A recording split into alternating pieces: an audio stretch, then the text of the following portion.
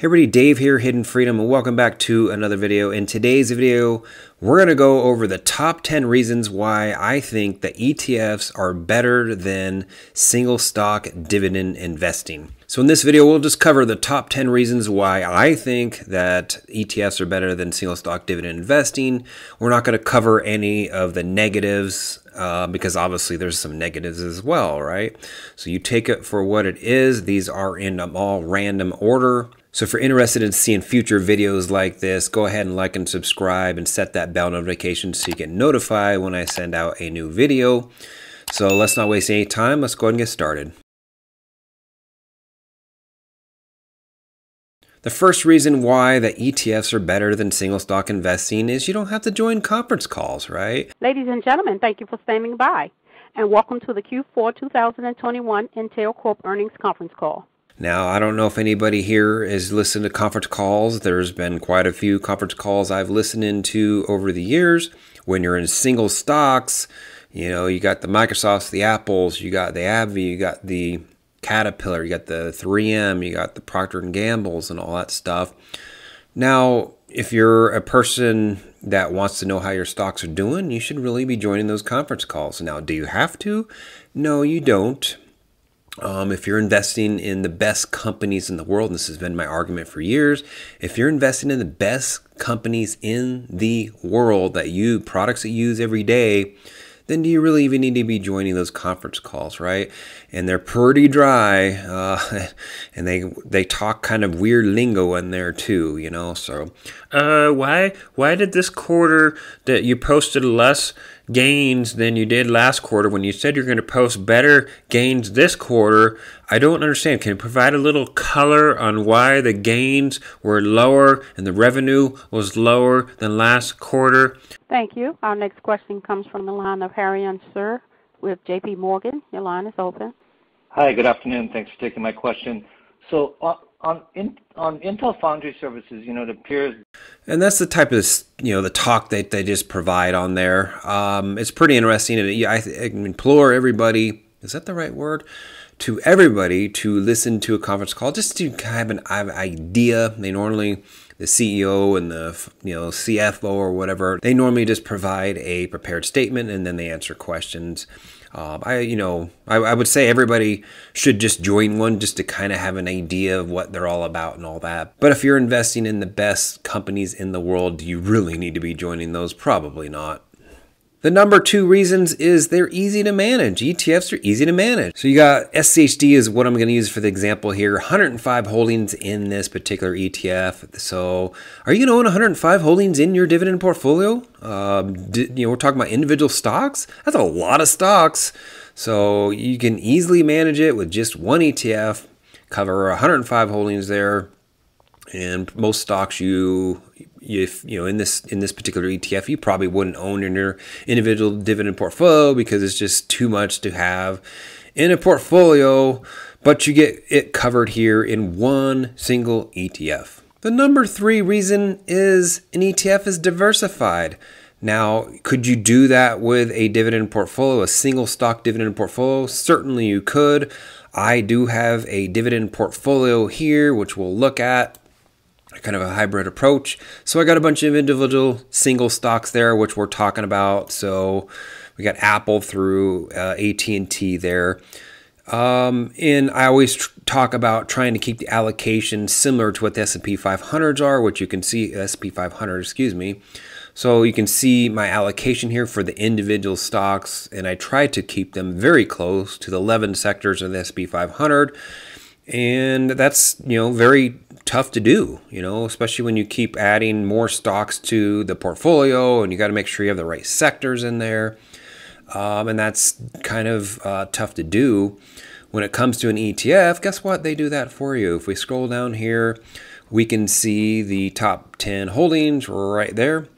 We can see that they are invested in all 11 sectors, including, well, actually, real estate zero right now, um, and utilities are zero. So that's interesting. Um, they actually might have something less than zero, but um, it may not show on there, and that's fine. So they're heavy financials right now, which is probably actually a good thing considering interest rates will go up.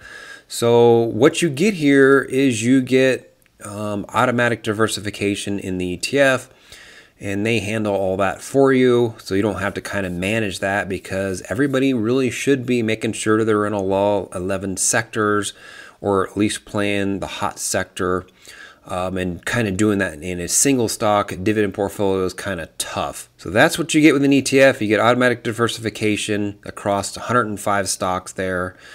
And uh, that'll be all handled for you for the next hot item or the next hot sector. Number four is the fact that being in a, just a one ETF, SCHD is a good example here, but there's a ton of other options, right? VYM, you got DGRO, um, you got another one from iShares, if I'm not mistaken.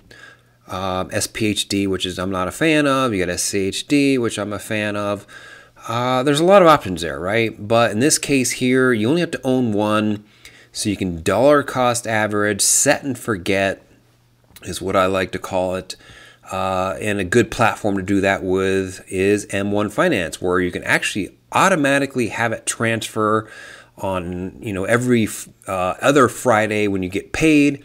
The money will come in here, and you can have it auto invest into your ETF, your single ETF in here. SCHD is a good example. I got three of them in here. Um, these are not necessarily dividend ETFs, although every one of these do pay a dividend.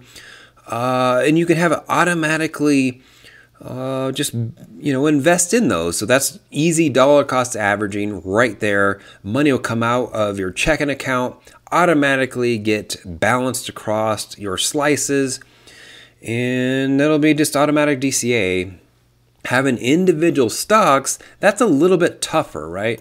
If we go here to my portfolio, what are you going to do here? There's not a lot of options out there. Not a lot of brokers will let you automatically transfer money into your account, and then it's definitely not going to split your money across. You know, I, am using Schwab here. It's definitely not going to split your money across every single one of your dividend stocks. So you got to determine and kind of make um, a decision right there, right? And you might get stuck making a decision what should i put this money in? And then trying to keep the allocations where they need to be and all that stuff. So guess what? With an etf set and forget. Money comes out of your check automatically. Automatically gets invested into a single etf and then it's automatically put across you know 105 stocks. And you know you could get stuck there um, trying to invest in a single stock, making a determination there. And I know a lot of people might have some analysis paralysis with that. So there you go. M1 Finance is a great platform for people that want to set and forget and DCA across um, into their ETF. And there's not a lot of other platforms do that. Robo investors, or excuse me, robo platforms will do that, but I don't really agree with the robo platforms. You're actually going to pay in higher expense ratios as well, or higher expenses, I should say. And M1 is still doing the $50 uh, referral. So if you want to sign up through my link, which is in the first pinned comment, you get 50 bucks. I get 50 bucks if you open an account and deposit 100 bucks. So that's a 50% return on your money. So I would highly recommend checking out M1 Finance for the people that want to just set and forget, not think about it for you know 20 30 years 40 years 10 years doesn't really matter um, it's one of the best platforms out there for people that just want to get invested and uh, make things simple so check out that first pinned comment for the referral link Number five is predictable returns. With one single ETF there, it's very easy to track what your returns are. It's very easy to track what your dividend CAGR is.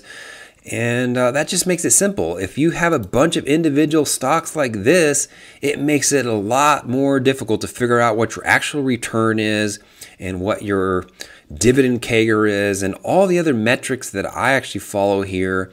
Without having a spreadsheet, it's very tough to track all that information. You actually pretty much need a some sort of tracker to track all your single dividend stocks. It's very tough to do without some sort of tracker. And that's the whole reason why I came up with this Google spreadsheet here so I could track all the dividend stocks and know what my metrics are. With a single ETF, that is not an issue at all because all you need to do is go to like um, FinViz or Seek Seeking Alpha, and all the information's there for you.